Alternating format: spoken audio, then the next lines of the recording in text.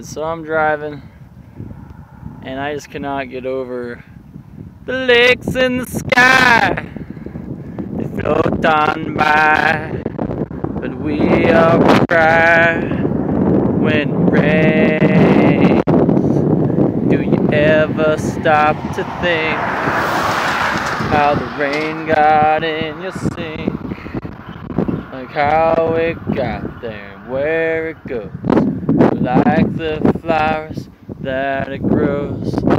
If we just open our eyes to the magic in our life, we just might realize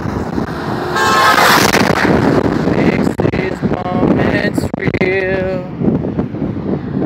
Ah, look at that.